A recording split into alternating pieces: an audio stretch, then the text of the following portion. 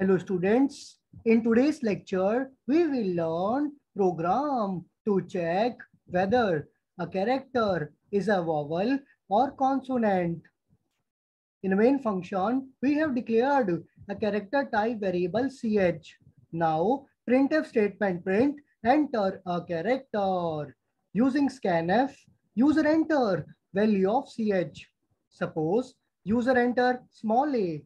Now, as we all know, vowels are A, E, I, O, and U.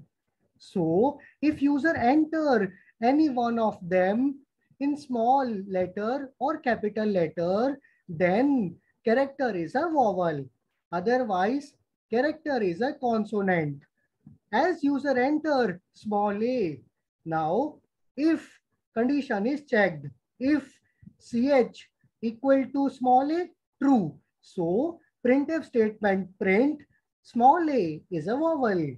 Now suppose user enter small s. Now condition is checked.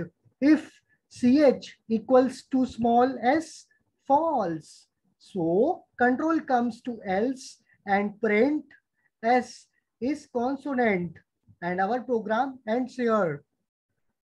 Here is the output. So we end our lecture today. Thank you.